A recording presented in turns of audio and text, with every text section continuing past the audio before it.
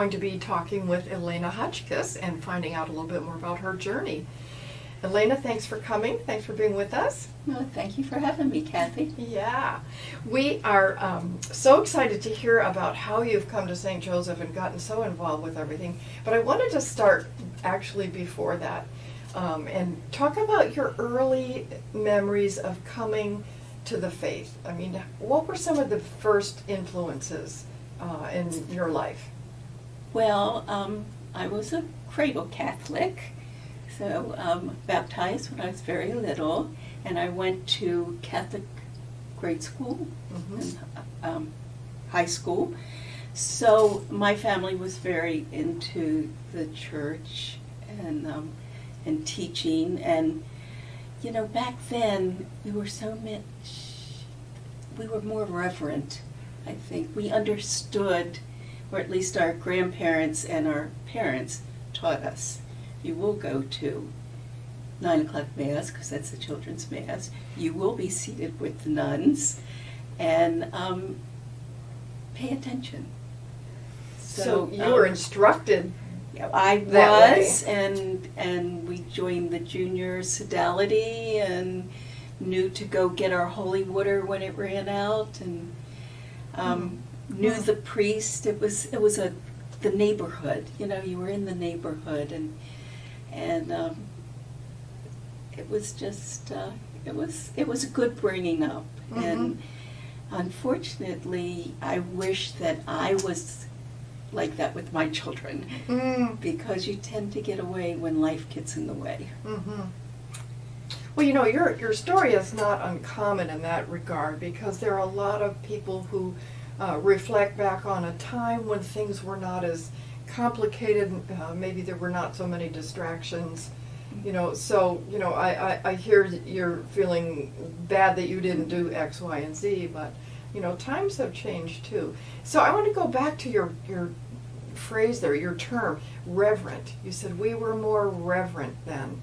Um, are you saying we as a family? We in We, as a body of children, of you know my peers growing up, I mean, to us, the sa- sacraments was it was such a blessing to get to the next step in your faith. Hmm. And, you know, so baptism, of course, I don't remember, but Holy Communion, oh, that was such a celebration. And then confirmation, you became a soldier of Christ. And um, I can remember my confirmation because it was on my birthday. Oh wow. And it just so happened, I lived in D.C., and we had this horrendous snowstorm that day, and we had to walk to church and get through. I, I bet you we must have had like three three feet of snow that day, which you never get in D.C. But um, but it was just something that it was so exciting to Mhm. make your uh, to for the sacraments. Mhm. So it, it really became um, a milestone that everybody recognized Mhm. and that everybody just assumed was the next thing. And that is very different for a lot of people now. Not not everyone, but I can imagine in a Catholic um, family, get growing up in a Catholic family, um, that you had a lot of that information, knowledge, not in just your family, but in the neighborhood. Mhm. So, uh, how did you proceed from then? I mean, did you ever have a time when you rebelled or went through challenges to your faith? Well, I think when, you know, raising a family, having young ones, you didn't go to church as much as, and, and also living in the suburbs. So Hmm. church wasn't just a walk away.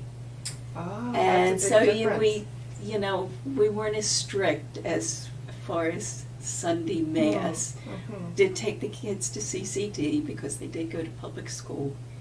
And um, Mm. I, I just felt like also the church kind of got away from some of the sacred reference ways of teaching the sacraments to our kids. Hmm. So I, I was thrilled because um, my children went to Holy Family at the time. And just knowing that the boys, they had to have a stole that they made. And my oldest took Matthew as his confirmation name.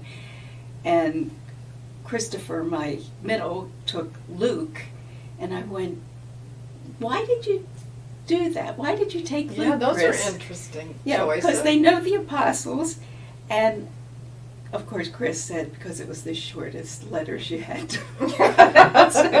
You know, they were just uh, on their own. But Sure. but he does go to church now, so he's he's a good one. Well, that's Luke is wonderful. following him. So um, you're you said they went to CCD, um, but partly you're saying that the church itself has changed in how things are being taught or how things are offered. Well, I'm sure that they're teaching, you know, the basics, but Mhm. it's it's just like uh, for Holy Communion, First Communion.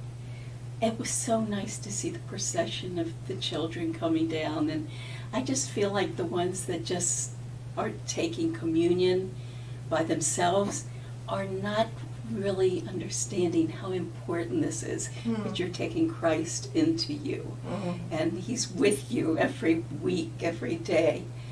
Um, I just, to me, and you know, the family's there, and I'm sure they they see it differently, but I just loved it when it was something really special for them. Mhm, mhm. So So you feel like maybe that's a little bit lost in today's world and culture. yeah, I guess I like the tradition. I like the presentation. Mhm. So Mhm. Well, I, I appreciate that because that's, you know, still foreign to me because I wasn't raised that way. And so it's really, it's wonderful. And I, I hear sort of the sadness about the changes, you know. I think traditions are really wonderful, but they sometimes go away and Oh, it, it makes us, makes us a little Yeah. bit sad. So, and how did you get to St. Joseph's? You were going somewhere else and then how did you Well, come here? we moved out to Eldersburg, and Holy Family is just in Randallstown, which is what's about six miles away. So when we moved here to St. Joe's, well, to this parish, um, that's how I got here. But I really did not get involved except for, well, I would go to Mass, and actually, I never changed from Holy Family to St. Joe's until later. My granddaughter was um, at Bible school here, and she got sick. And of course, they couldn't get the parents, so they said, call my grandmother. And, and Hannah said, And, yeah. and so they said, well, we, your grandmother doesn't belong here. Says, oh, yes, she does. She comes every Sunday. She's here. And she was adamant. So I just, uh, so then I said, you know, I better check to see if I did change from Holy Family to St. Joe's. Oh, that's funny. Yeah. So your granddaughter got you here? She certainly did. She Officially, got me anyway, signed officially. up. So you've been involved, it sounds like, um, of, of late and in lots of different things. What are some of the ministries you're involved in?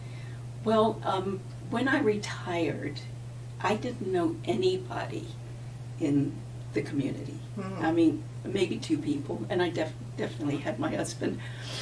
But um, I just felt that I needed something because I I worked in Virginia, so that's where my friends were. Wow.